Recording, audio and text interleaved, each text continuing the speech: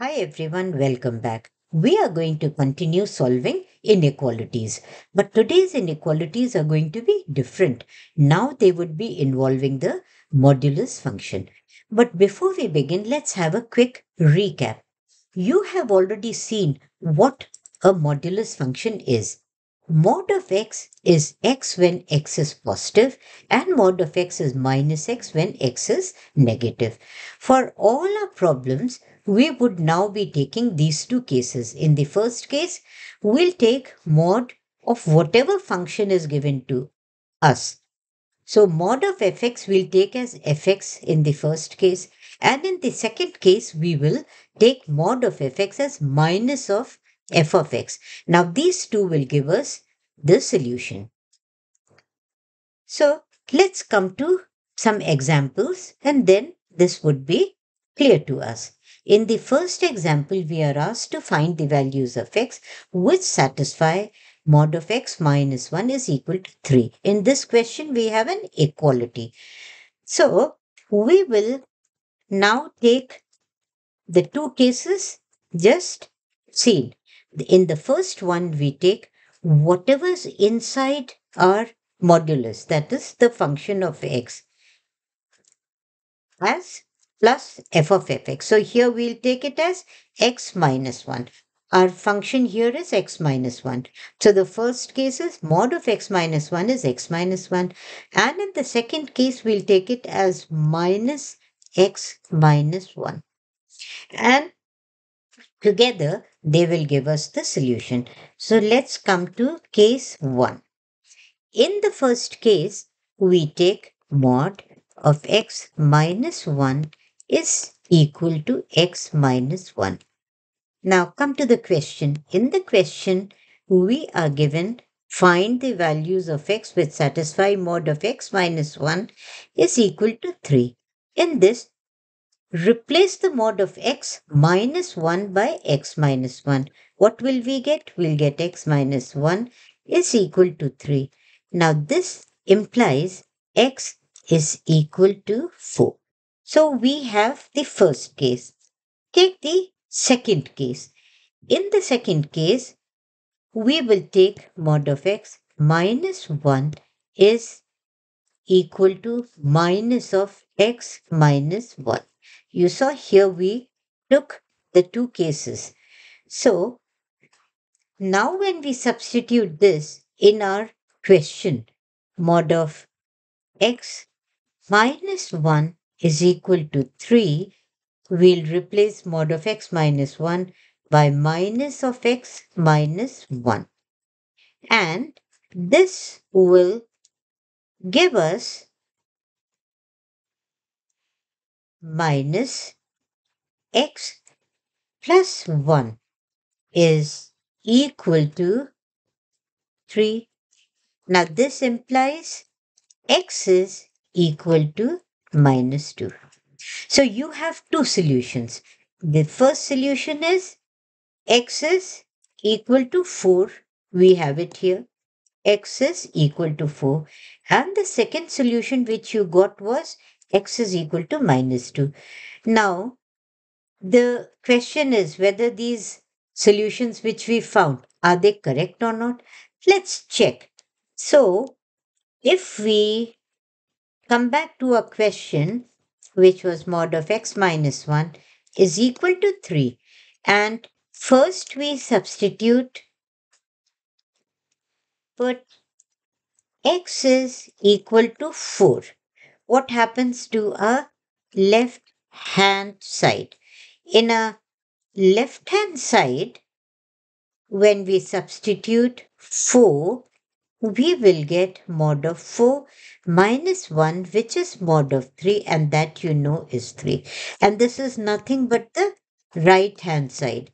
So our value x is equal to 4 was correct. It satisfied our given question. Come to the second value. Now put x is equal to minus 2 in your given question. What will you get? Left hand side will be mod of minus 2 minus 1 and that is nothing but mod of minus 3, which is equal to 3. And now this is also equal to the right hand side. So both values satisfy. So your answers which you got were correct. Come to the second question.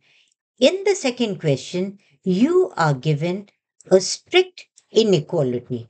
Now, what do we mean by strict inequality? Here, we have mod of x minus 4 is less than 7. There is no equality. So, whenever we have either less than or greater than sign only, we call them strict inequalities. How do we solve this? Again, we will take two cases.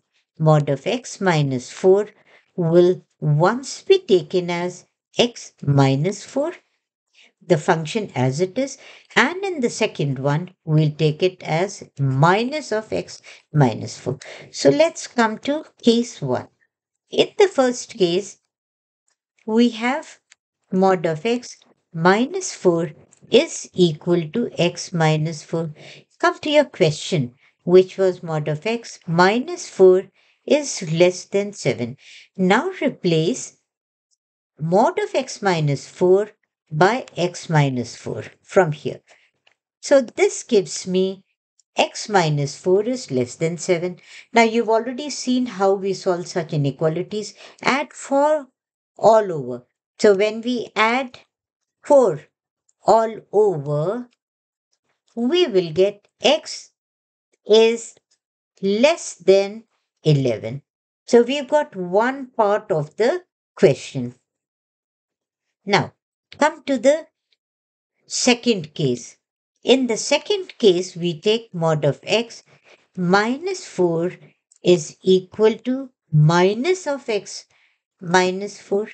So, in your question, now replace. So, we take mod of x minus 4 is less than 7 as now minus of x minus 4 is less than 7 you can either multiply by minus 1 on both the sides and change the inequality or just open the bracket. So you can do it either way. Let's open the bracket. Minus x plus 4 is less than 7. Now subtract 4 on both the sides. What will we get? Subtract 4 on both the sides both the sides. We will get minus x is less than 3. Now, we will multiply by minus 1.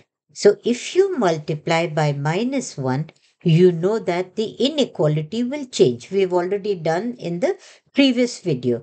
So, multiply by minus 1, we get x is greater than minus 3. Now you see the inequality less than became greater than because you are multiplying by a minus integer. You've already seen that earlier. The inequalities change. So we have two solutions here. One we get from case 1 which says here x is greater than minus 3 and in the first one you got x is less than 11. We will combine both of them and write it as x x is greater than minus 3 but less than 11. So this is our final solution. We will see one more thing here. This is the solution.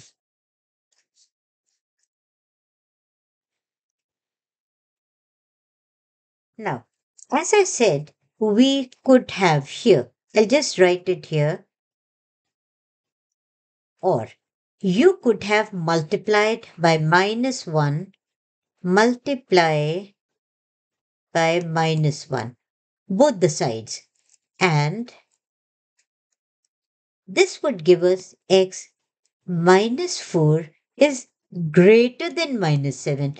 Just because we are multiplying by minus 1, the inequality will change. Now add 4 on both the sides. What will we get? x is greater than the 4 and minus 4 will cancel. We are adding 4 is greater than minus 3. So you can do it this way also. Now, alternatively, how can we do this? Let us see. Then we'll see where does the solution lie on the number line. So let's see.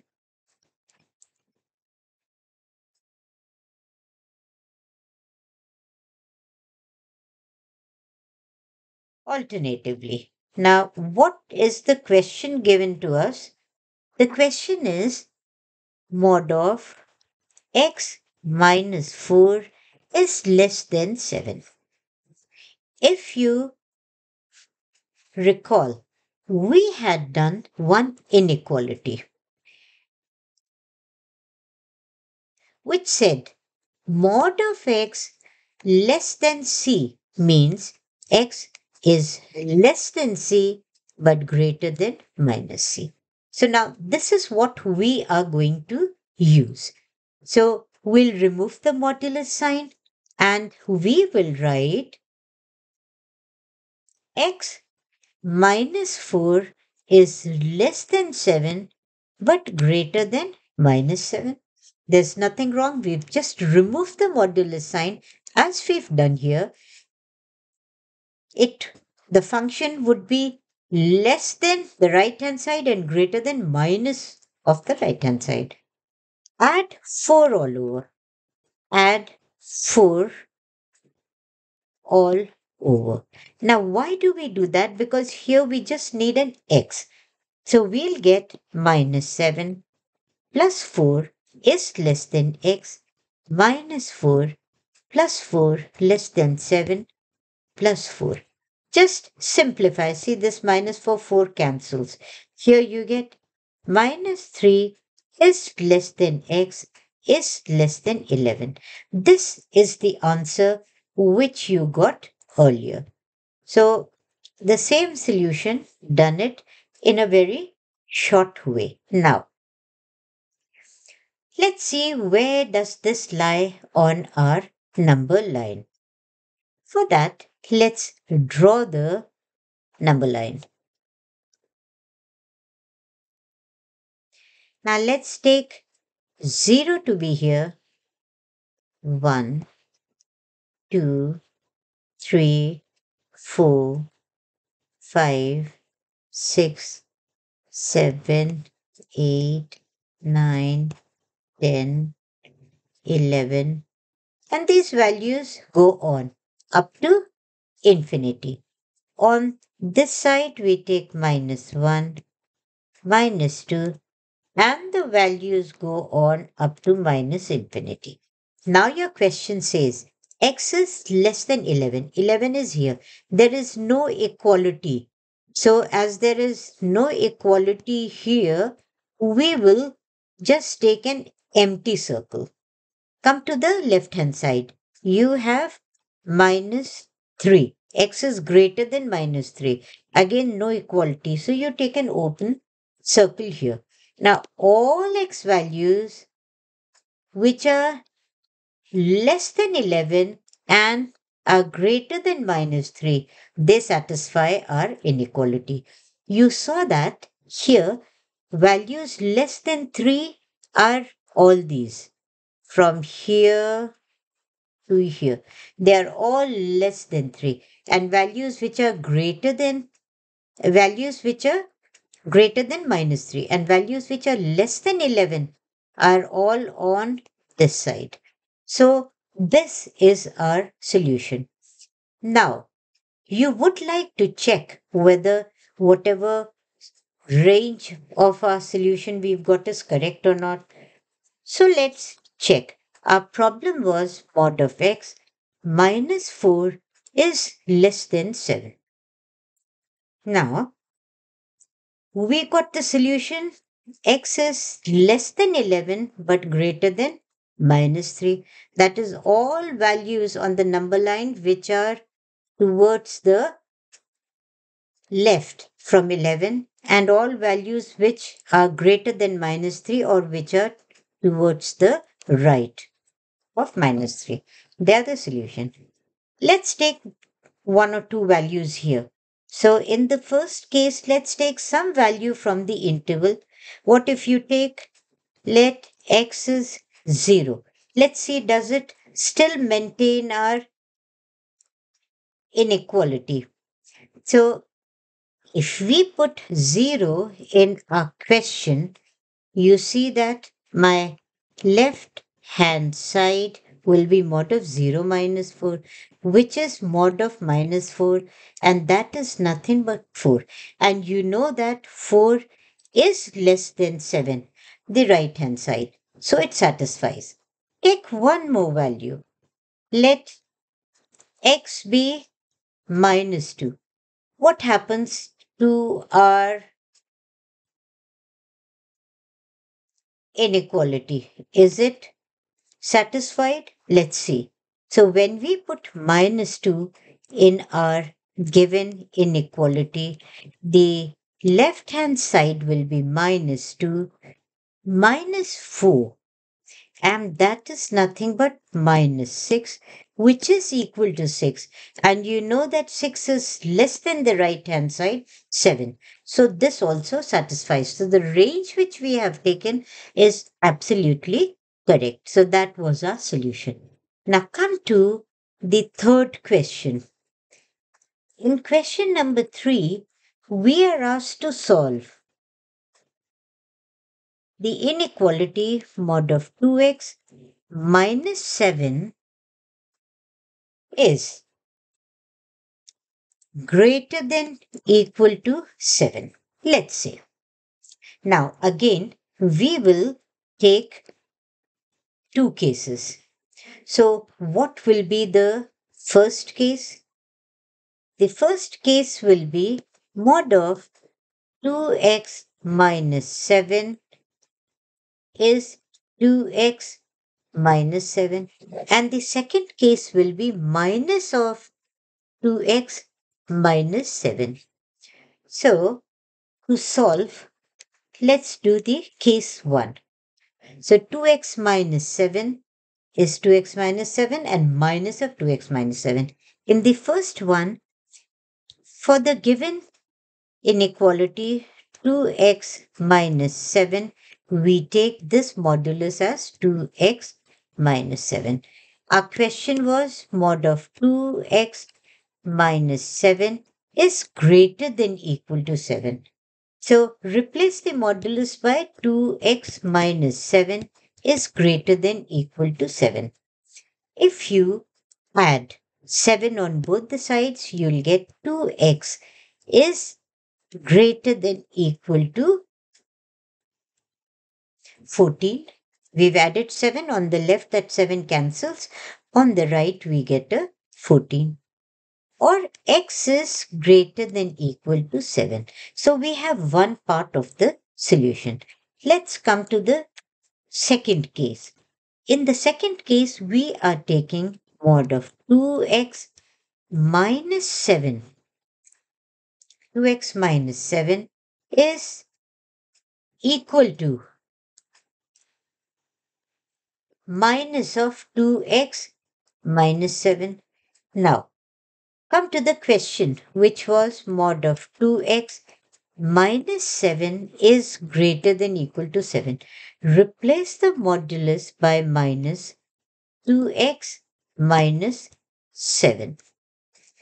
Now, let's multiply by a minus sign on both the sides. So multiply by minus 1 on both the sides. As you know guys, the inequality will change. So what will we get? We'll get 2x minus 7 will be less than equal to minus 7. Now you see, if we add 7 on both the sides, add 7 on both sides. what will we get? We'll get 2x is less than equal to 0 or x is less than equal to 0. So we have two answers here. The first one is x is greater than equal to 7 and the other one is x is less than equal to 0. Now, where do these values lie on the number line? Let's see. This part is to be seen. Now let's say my number line is here. We have a 0 here. We have 1, 2, 3, 4, 5, 6, 7, 8. All these values this side. Minus 1, minus 2, minus 3. This goes up to infinity and this goes up to minus infinity. Now your question is, first part gives the solution x is greater than equal to 7. Where will the values lie? You know that we have an equality here. So first at 7 we take a dark dot. Now this means 7 is included. All values which are greater than equal to 7 are the solutions. So these are the x values which satisfy and all values which are less than equal to 0. Now values less than equal to 0 will be on this side of 0 and 0 is also included because there is an equality sign. The values which are from here to here, they do not belong to the interval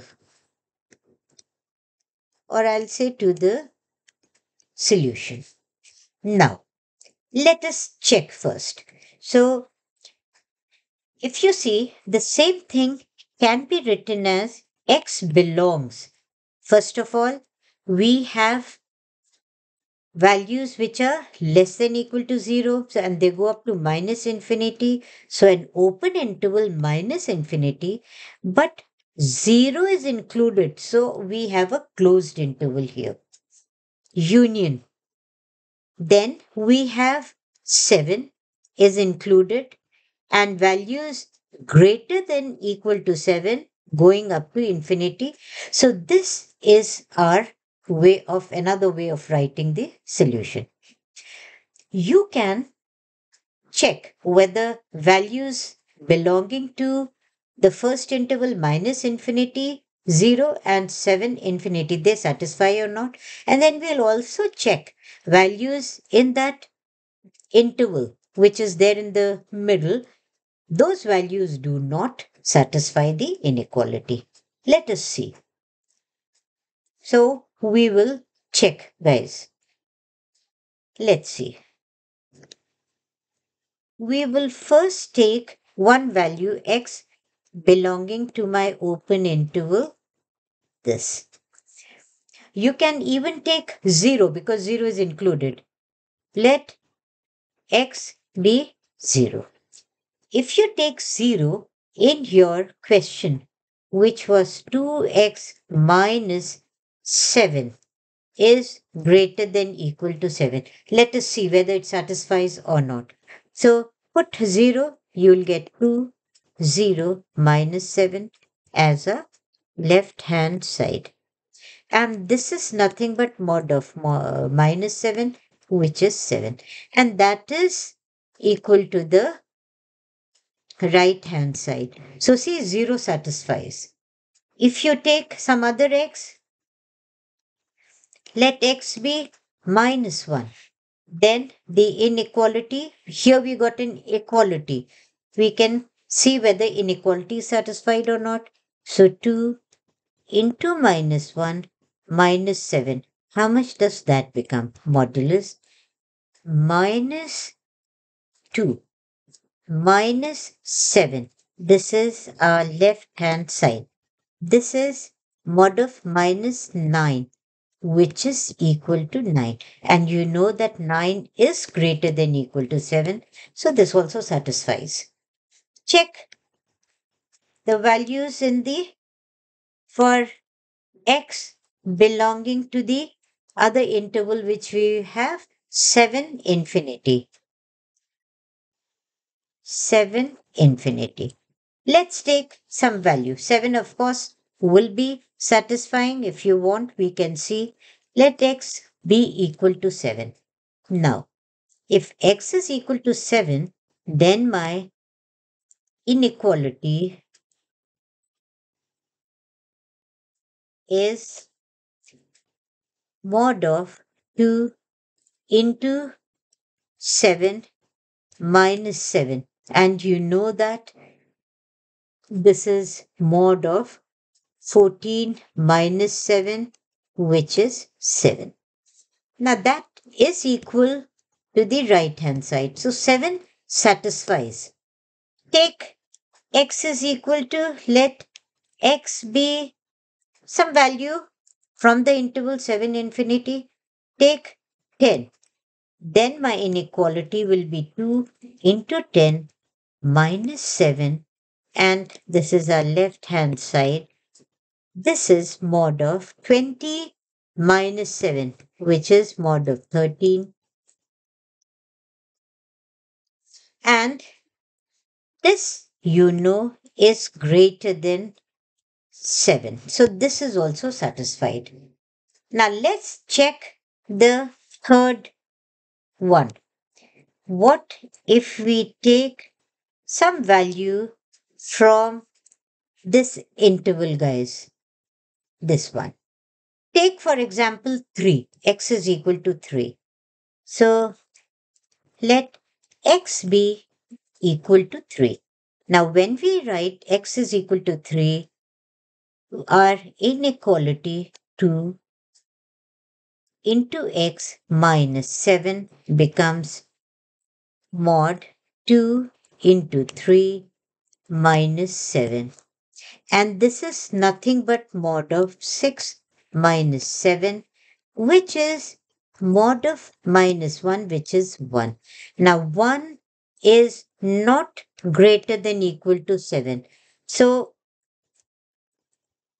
values in the interval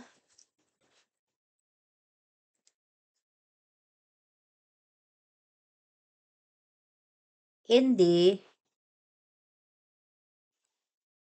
interval. Now we have that open interval.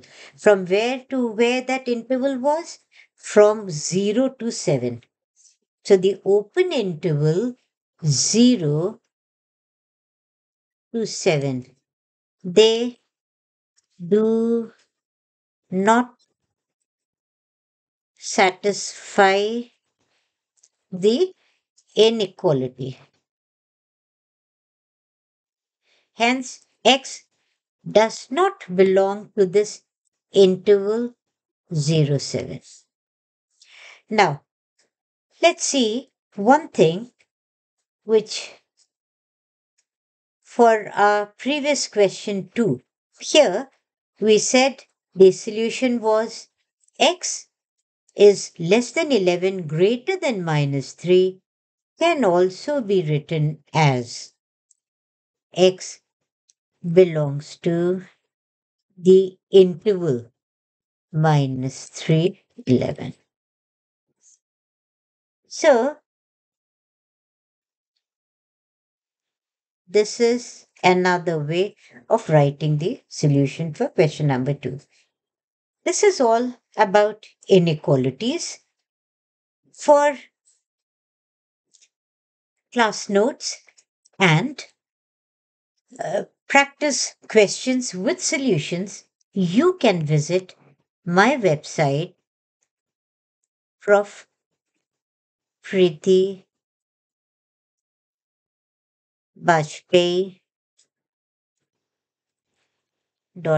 com. Go to courses. Under that, go to remedial. You will find all the exercises there with solutions. Thank you for watching. Our next topic will be progression.